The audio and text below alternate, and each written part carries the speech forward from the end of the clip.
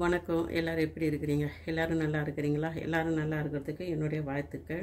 இன்றைக்கி நான் வந்து குதிரைவாலி தானியம் போட்டு ரம்ஜான் கஞ்சும் சிக்கன் சிக்ஸ்டி ஃபைவும் உங்களுக்கு செஞ்சு காட்டுறேன். நான் வந்து அரிசியில் வந்து கடலைப்பயிறு போட்டு செய்வேன் ரம்ஜான் கஞ்சி. இந்த குழு நல்லனா ரொம்ப நல்லாயிருக்கும் அது குடிக்கிறதுக்கு. நான் குழு இவரில் அதுவும் குழு நாளில் தான் குடிப்பேன் செய்வேன் நான். ரொம்ப நல்லாயிருக்கும் ஆனால் நான் கறி போட மாட்டேன்.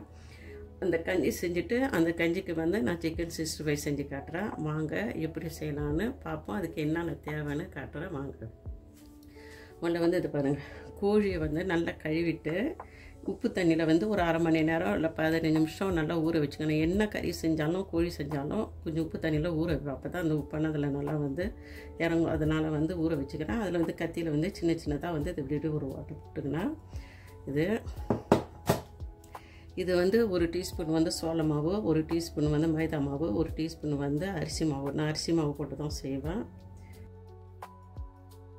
இது வந்து கால் டீஸ்பூன் வந்து மிளகுத்தூள் ஒரு டீஸ்பூன் வந்து மிளகாத்தூள் இது வந்து அரை டீஸ்பூன் சீரகத்தூள் அரை டீஸ்பூன் வந்து கொஞ்சம் குறுவாகவே எடுத்துக்கணும் நான் க கரம் மசாலா கால் டீஸ்பூன் வந்து மஞ்சத்தூள் ஒரு ஒன்றரை டீஸ்பூன் வந்து இஞ்சி பூண்டு விழுது இது வந்து கேசரி பவுடர் அந்த சிவப்பு கலரும் ஆரஞ்சு கலர் இருக்குங்களா அது? இது வந்து பஸ்லிக்கு பாருங்கள் இது போட்டுக்கிறேன் நான். இது ஒரு கால் டீஸ்பூன் போட்டுக்கிறேன். இது எல்லாத்தையும் இப்போ இதில் போட்டு குழப்பணும் இதில் வந்து ஒரு முட்டை போடணும் முட்டை வந்து மஞ்சள் கருவில் நான் வெள்ளை கருவு எடுத்து தான் போடணும் நான். இப்போது வீட்டில் இங்கே யாரும் இல்லை போய் வாங்கிட்டு வர்றதுக்கு. அதனால் இப்போ நான் முட்டை போடாத செய்கிறேன் ஆனால் நீங்கள் செய்யக்குள்ள முட்டை வந்து வெள்ளை கருவு மஞ்சள் கருவு போடக்கூடாது. வெள்ளை கருவு எடுத்து இதில் போடுங்க. இப்போ இது எல்லாத்தையும் போட்டு இதில் நான் பிசைஞ்சிக்கிறேன். சித்திரம் ஒரு எலுமிச்சப்பழம் எலுமிச்சப்பழம் வந்து கொஞ்சோண்டு ஊற்றிக்கிறேன் நான்.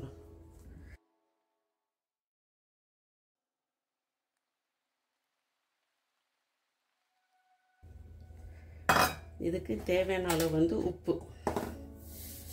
உப்பு காரம் எல்லாம் உங்களுடைய டேஸ்ட்டுக்கு விட்டுருவோம் ஏன்னா வந்து சில பேர் காரம் சாப்பிடுங்க சில பேர் காரம் சாப்பிட மாட்டீங்க. அது வந்து உப்பு கொஞ்சோண்டு வந்து எலுமிச்சப்பழம் ஜூஸ் ஒரு டீஸ்பூன் வந்து.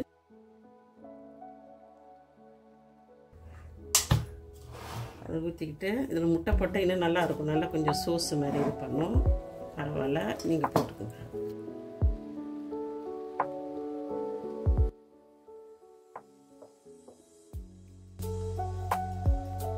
இப்படி தான் இருக்கும். அப்புறம் அப்புறம் தண்ணி இதுவாகும் அதில்.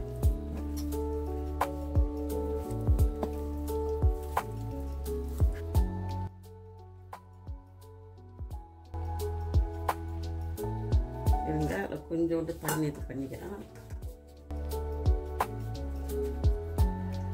கலர் எல்லாம் இதில் ஒட்டிடுச்சு.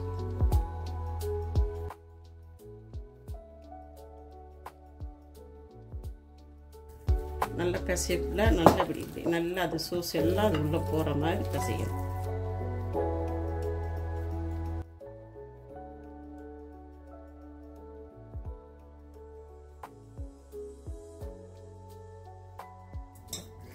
இது இந்த கஞ்சி செய்கிற வரைக்கும் இது ஊறி நிறுவட்டும் அப்புறமா நான் வந்து இது வந்து பொரிச்சு காட்டுறேன். நான் கேசரி பவுடர்னால் ரொம்ப போடலை நான். ஏன்னா வந்து அதெல்லாம் நான் அதிகமாக இத்துளி இத்துலிசை பண்ணுவேன். ரொம்ப ஓவராக கிடையாது. சும்மா கொஞ்சம் அவ்வளோதான் இப்போ வந்து கஞ்சிக்கு வந்து என்னென்ன தேவைன்னு பார்ப்போம். வாங்க. இங்கே பாருங்கள் ஒரு கப்பு ஒரு கப்பு வந்து குதிரைவாளி தானியம் இருக்குதுங்களா? குதிரைவலி தானியம் இது. இது நல்லாயிருக்கும் இது. நான் சாதுவாக கூட டெய்லி கஞ்சி காய்ச்சி குடிப்போம் அது அங்கே கூட காய்ச்சி வச்சுக்கிறேன்னு. இது வந்து ஒரு கப்பு எடுத்துக்கங்க. பச்சை பயிறு. நான் வந்து அரிசி அந்த கடலை பயிர் போடுவேன். தானியம் வந்தால் பச்சை பயிர் போடுவேன். ஏன்னா வந்து இது சின்னதாக தானே இருக்குது அது வெந்தாலும் மெலிசாக இருக்கும். அதில் போய் கடலை பயிர் போட்டால் அவ்வளோ இதுவாக இருக்கும். அது நல்லது பாருங்கள் மூணு மூணு டேபிள் ஸ்பூன் வந்து பச்சை பயிரை வந்து லேசாக ரொம்ப இல்லை சும்மா லேசாக வறுத்துட்டு நல்லா கழுவிட்டு அதில் இருக்கிற நுரை எல்லாத்தையும் எடுத்துகிட்டு வேக வச்சு வச்சுக்கிறேன். ஒரு முக்கால் பதத்துக்கு வேக வச்சுக்கிறேங்க பாருங்கள் வேவில் பாருங்கள் முக்கால் பதத்துக்கு வேக வச்சுக்கிறோம் இதெல்லாம் மூணு கரண்டி வச்சா அது இவ்வளோ வந்துருக்குது. மூணு கரண்டி. அப்புறம் வந்து இதுக்கு வந்து இங்கே பாருங்கள் நான் பெரிய வெங்காயம் போடுவேன். என்கிட்ட சின்ன வெங்காயம் கொஞ்சம் அதிகமாக இருக்குது. அதனால நான் சின்ன வெங்காயம் போடுறேன். ஒரு நல்ல ஒரு குடி இதுமா வந்து சின்ன வெங்காயம் மூணு பச்சை மிளகா ரெண்டு சின்ன கேரட்டு போட்டுக்கிறேன். நான் காய்கறி போட்டு செய்கிறேன் ஒரு கால் டீஸ்பூனுக்கு கொஞ்சம் அதிகமாக வந்து வெந்தயம் ஒரே ஒரு சின்ன தக்காளி புதினா கொத்தமல்லி இஞ்சி பூண்டு விழுது வந்து ஒரு ஒரு க ஒரு டீஸ்பூன் எங்கே அந்த டீஸ்பூன் இதெல்லாம் ஒரு கரண்டி போட்டிருக்கிறேன் நான். அப்புறம் கொஞ்சோண்டு பீன்ஸ் போட்டுக்கிறேன் இந்த பாருங்கள் கொஞ்சோண்டு பீன்ஸ் போட்டுக்கிறேன். இது வந்து கஞ்சி செய்யறது. இது வந்து கடைசியாக கஞ்சி எல்லாம் செஞ்சு முடிச்சுட்டு வந்து தாளிக்கிறதுக்கு வந்து ஊற்ற பாருங்க. அரை டீஸ்பூன் வந்து பெருஞ்சீரகத்தை வந்து அந்த உரலில் போட்டு நைஸாக நைத்திக்கினா இந்த இந்த பூ இது கிராம்பு அஞ்சு கிராம் போட்டுக்கிறோம் ஒரு துண்டு பட்டை கொஞ்சோண்டு வந்து கருவேப்பிலை போட்டுக்கிறோம் இது வந்து கடைசியாக தாளிக்கிறதுக்கோசரம். அப்புறம் வந்து இதுக்கு வந்து இதில் ஒரு கப்பு போடுறதுனால ஒரு கப்பு தேங்காய் பால். இந்த தேங்காய் பால் நீங்கள் வந்து தேங்காய் அரைச்சி கூட தேங்காய் பால் எடுத்து செஞ்சுக்கலாம். ஒரு கப்பு தேங்காய் பால் ஊற்றணும் இதுக்கு. இதுக்கு தேவையானது அளவு உப்பு. இவ்வளோ தான் இதுக்கு தேவையானது. வாங்க இது எப்படி செய்யலாம்னு பார்ப்போம். இப்போ வந்து இந்த இதை வந்து நான் கழுவிட்டு வந்துடுறேன். இந்த தானியத்தை வந்து நல்லா சுத்தமாக நாலஞ்சு தடவை கழுவு. இதை நான் கழுவுறேன். அதுக்குள்ளே இந்த சட்டி காயிட்டும் பாருங்க கொஞ்சம் தேவையான அளவு. எண்ணெய் வந்து ரொம்ப தேவையில்லை. ஏன்னா நான் கடைசியில் கொஞ்சம் நெய் போட்டு தாளிப்பேன் நான். இதை பாருங்கள் கொஞ்சோண்டு போட்டால் போதும். ஒரு ஒன்றரை டேபிள் டேபிள் ஸ்பூன் வச்சுக்கலாம். இதில் பூண்டு கூட உரிச்சு போடலாம். ஆனால் நான் போடல. இது போதுமானது. இது ஒரு கஞ்சி மாதிரி குடிக்கலாம் அதில் போய் கச்ச கச்சன்னு போடக்கூடாதுன்னு சொல்லிட்டு இதே பாருங்கள் இதே கொஞ்சம் இதாக இருக்கு. ஒரு கப்பு. என்ன ஒரு கப்புக்கு இவ்வளோ பெரிய யானைன்னு பார்க்காதீங்க. இதுக்கே ஏழு கப்புக்கு மேலே தண்ணி செலவாகும். இது வந்து நிறைய கஞ்சி வரும். அது தான் இதில் அந்த வெந்தயத்தடி போடுங்க. இதெல்லாம் சும்மா வதக்குறது கூட அவசியம் கிடையாது. அப்படியே போடலாம். நான் கொஞ்சமாக சும்மா வதக்கி போடலாம்.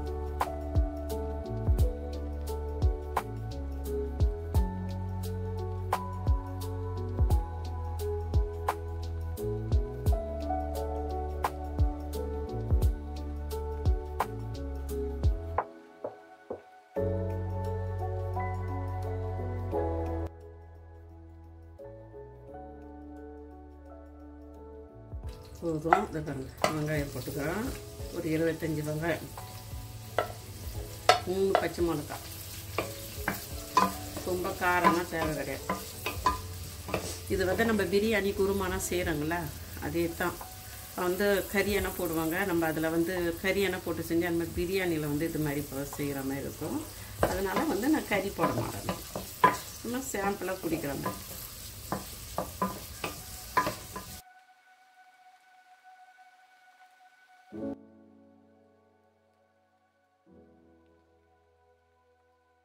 பார்த்துக்குங்க சும்மா அரிசியிலே செஞ்சு குடிக்க தேவையில்லை. இந்த மாதிரி வந்து தானியங்கள்லாம் செஞ்சு குடிக்கிறது நல்லது.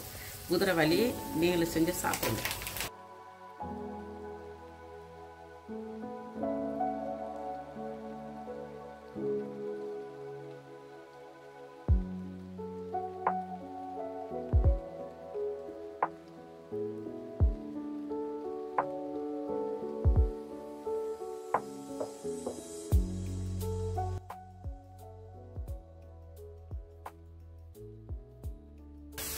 அடுத்தது வந்து தக்காளி. எ- எதுவுமே வந்து போட்டு நம்ம குருமா பிரியாணிக்கான போட்டு செய்கிறோமா அந்த மாதிரிலாம் எதுவுமே செய்யக்கூடாது.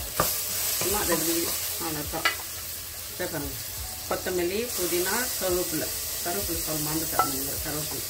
இதுலேயும் கருவேப்பிலை போட்டுக்கிறேன் தாளிக்கிறதும் கருவேப்பிலை போட்டுக்கிறேன். கொஞ்சோண்டு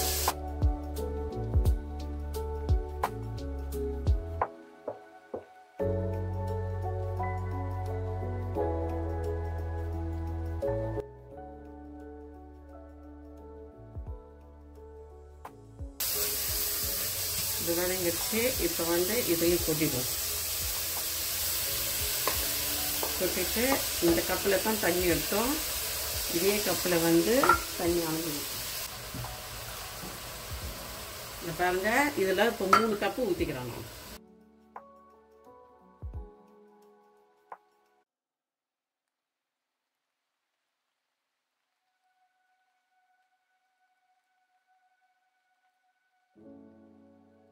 மறுபடியும் மூணு கப்பு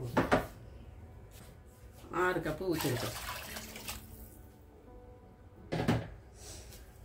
ஆறு கப்பு இதுக்கு தேவையான அளவு உப்பு. அப்புறமா வந்து தண்ணி பத்தாது. நான் சாத புனித வெள்ளி கஞ்சி போட்டிருந்தாங்கல்ல வரகரிசி இது. அதில் வந்து நான் ஒரு கப்புக்கு ஏழு கப்பு ஊற்றணும் இப்போ அதே மாதிரி இது ஏழு கப்பு ஊற்றணும் ஒரு கப்பு வந்து தேங்காய் பால் ஊற்றணும் இப்போ அப்புறம் வந்து காய்ங்க வந்து அரிசி அரிசியாக இருந்தால் இந்த காய் வந்து கொஞ்சம் பெருசு பெருசாக வெட்டி போடணும். கருவத்து பின்சணும் இது வந்து நான் சின்ன சின்னதாக வெட்டிக்கிறேன். ஏன்னா இது தானியம் தானே பொரியல் சின்னதாக தானே இருக்குது அதுக்கு போய் பெருசு பெருசாக போடக்கூடாதுன்றதுக்கோசரம் நான் சின்னதாக போட்டுக்கிறேன். பொரியல் மாதிரி இல்லை பெருசாகவும் இல்லை ஒரு திட்டமான அளவு தான் சின்ன சின்னதாக இப்போ வந்து பச்சை பயிரை வந்து போட்டு விட்ருவோம்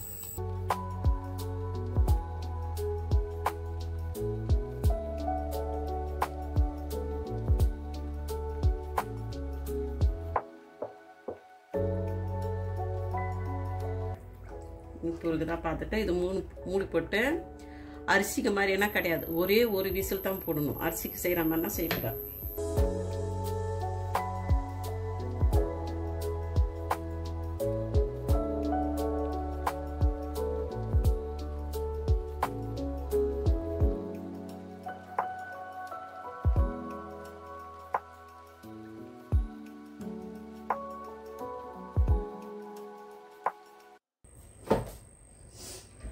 தேங்காய் பால்லாம் ஊற்றி உப்பு கொஞ்சம் இதுவாக இருக்கும். அதனால் இன்னும் கொஞ்சம் உப்பு போடுவோம். பாலெல்லாம் ஊற்றுறோங்கல்ல அப்போ கொஞ்சம் உப்பு கொஞ்சம் கொஞ்சோண்டு போட்டு வைக்கணும் போதுமானது. இது வந்து வேகட்டும். ஒரே ஒரு விசில் போதும். கரெக்டாக வெந்துடும்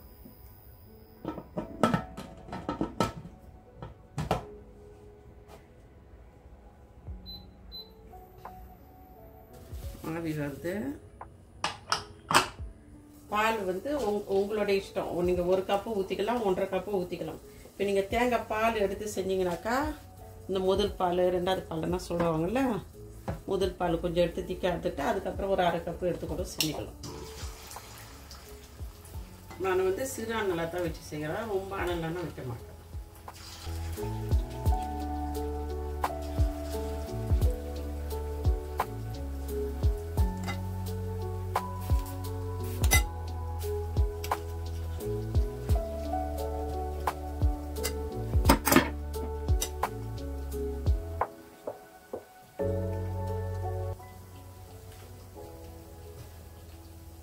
我在那边。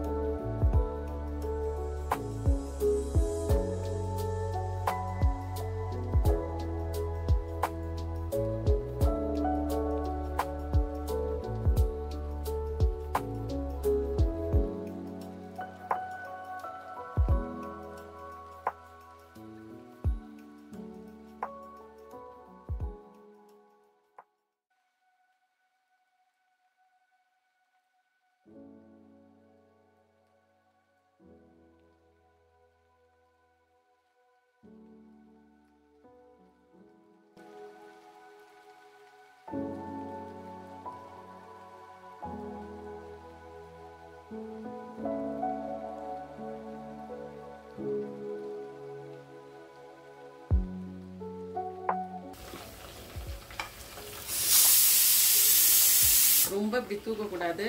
அப்படி மேலே இது பண்ணும் அதை லேசாக லேசாக தண்ணி மேலே வர வெளியில் சொத்தி வெளியில் வரக்கூட வந்து டக்குனு இது பண்ணிட்டோம்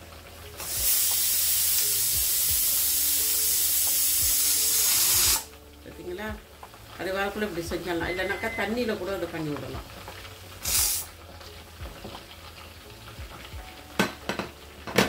அது இருக்கட்டும் அதுக்குள்ளே நான் கோழி வைப்பேன்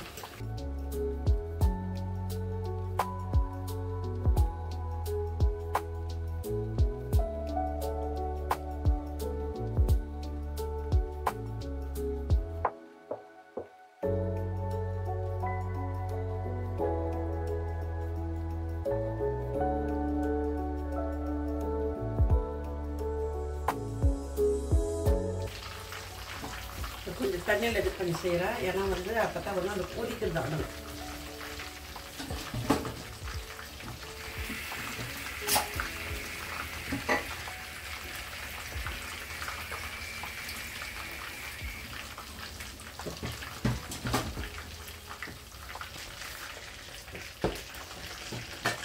பாருங்கள் தண்ணியில் கொஞ்சம் பண்ணோம்னா அது நாட்டை வச்சு பாருங்க கொதிக்கிறது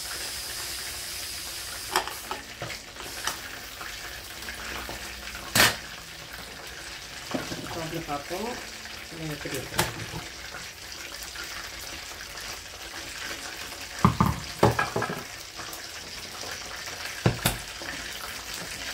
காயெல்லாம் வந்து சாப்பாடு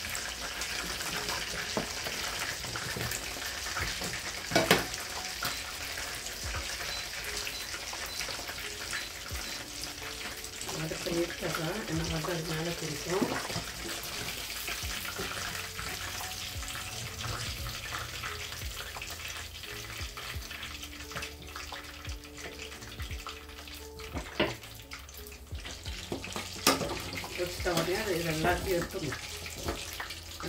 quero para outra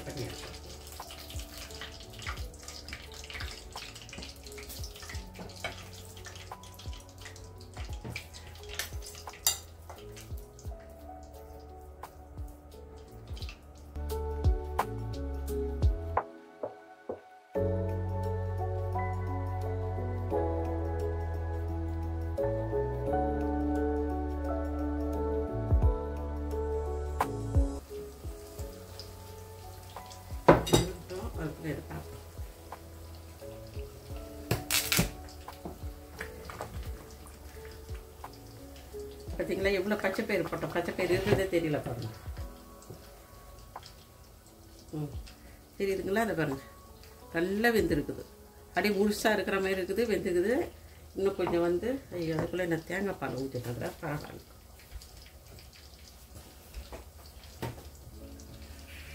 அது ரொம்ப கட்டி ஆகிடும் அப்படியே க கட்டி ஆகிடும் வெண்ணை புட்டு மாதிரி ஆகிடும்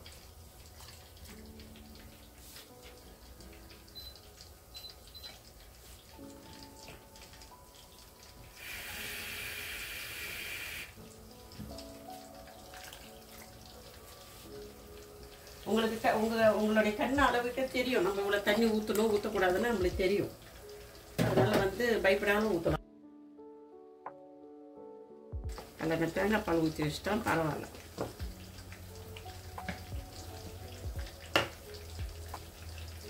எப்படி இருக்குது பார்ப்போம்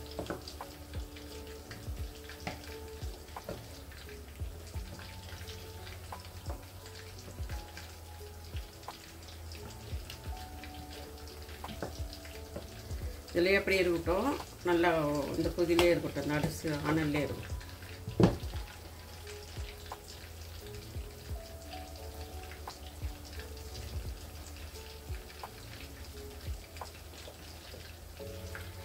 வந்து கரோத்து கரோத்து வந்து கேரட் வெந்துருச்சா பார்ப்போம். எந்த மாதிரி தான் இருக்குது பார்க்குறதுக்கு. என்ன ஒரு போட்டுக்கணும் இதை பாருங்க. தெரியுதா? நல்லா வெந்துருச்சு. பீன்ஸு பாருங்க. வெந்துருக்கு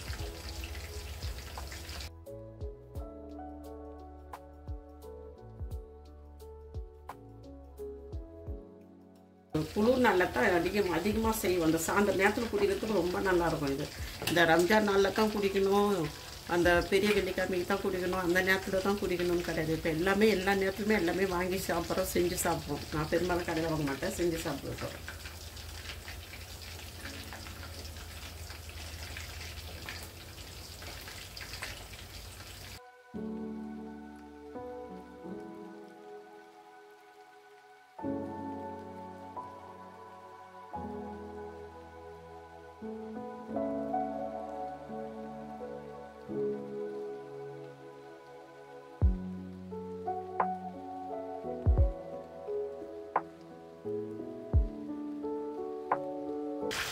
சாப்பிடுவோம்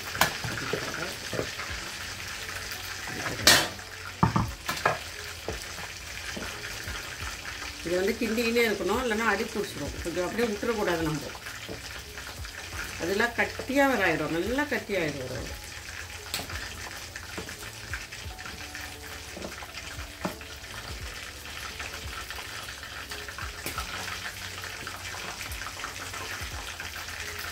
கூட பச்சை பயிர் போட்டது பச்சை பயிர் எல்லாம் நல்லா வெந்துருக்குது பச்சை பயிர்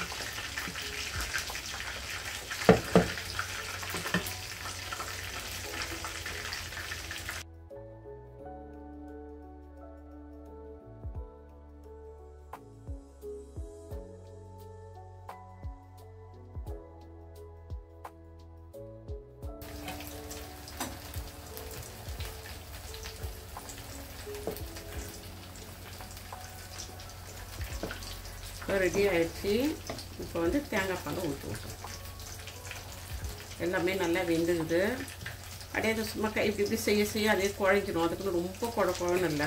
அவங்களாம் குழப்பம்னுவாங்க ரொம்ப குழ ரொம்ப குழப்பம்னு இருந்தாலும் பிள்ளைங்க குடிக்காதுங்க. இந்த இந்த அளவுக்கு இருக்கணும். ஏன்னா இதை நம்ம குடிக்கிறதுக்கு தானே. அவங்கன்னா வந்து புருதம்லாம் இருந்து செய்கிறாங்க. அதனால் கொஞ்சம் குழப்பம்னு குடிக்கிறாங்க. நான் இந்த பதத்தில் எடுத்துகிறேன் உங்களுக்கு வேணும்னாக்கா இன்னும் கொஞ்சம் நல்ல குழப்பம் சொல்லலாம். வெந்திருக்குது. வெந்திருக்குது. அது முழுசாக அப்படி தெரியுது பாருங்கள் வெந்திருக்குது. இப்போ வந்து தேங்காய் பால் ஊற்றிட்டு இதை வந்து தாளிச்சு விட்ருவோம்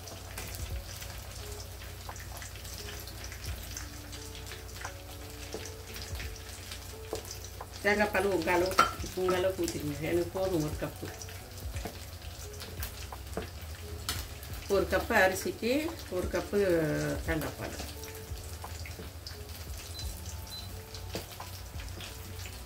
இப்போ மறுபடியும் உப்பு பார்க்குறோம்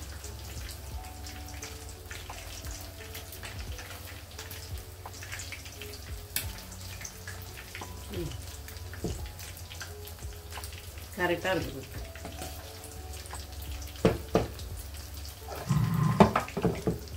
இது ஒரு கொதி வரட்டும்.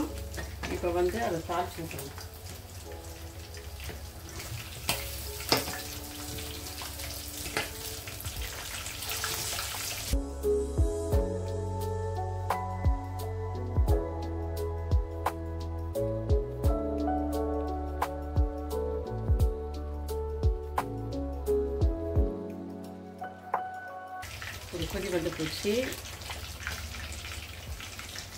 இது நல்லா கட்டி ஆகணும் அதை.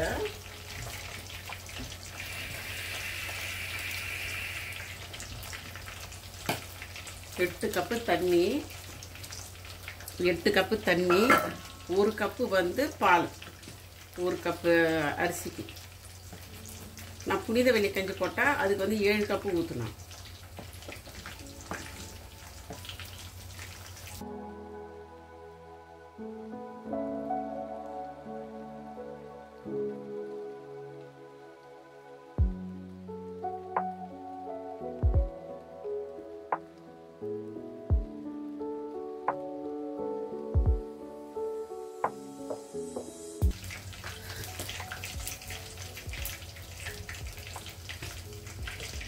இது பிடிச்சிருச்சு இதை அப்படியே வச்சுருவோம்.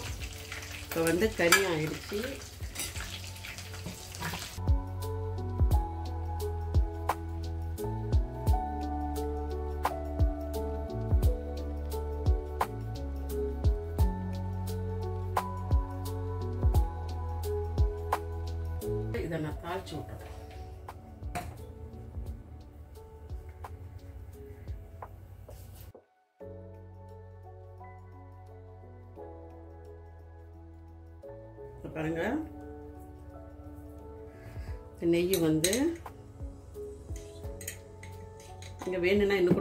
புதினா இது கொத்தமல்லி கீரை போட்டுக்கலாம் அப்புறம் நெய் ஒரு டீஸ்பூன் போட்டுக்கிறேன். கொஞ்சம் கொஞ்சம் போட்டுக்கலாம்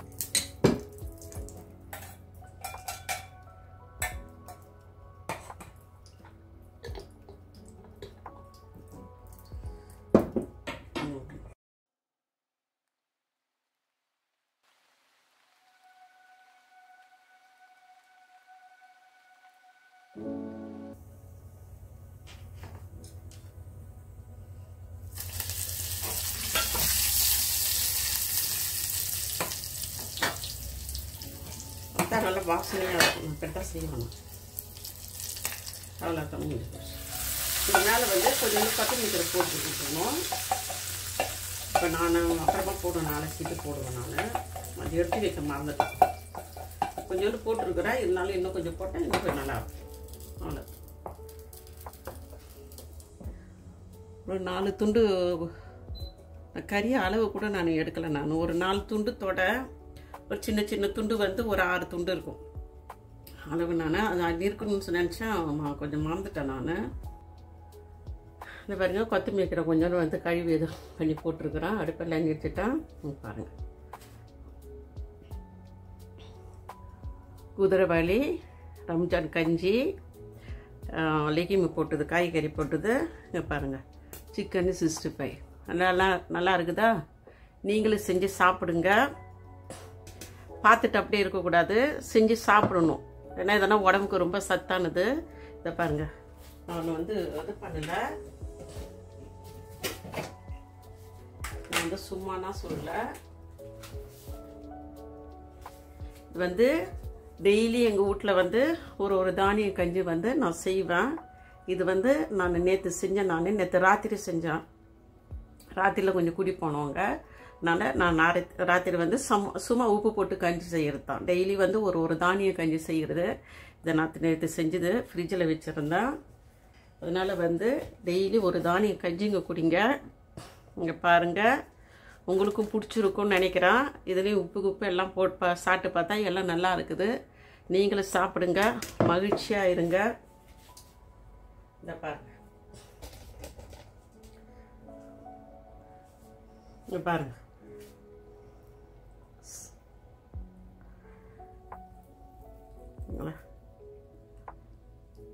ம்.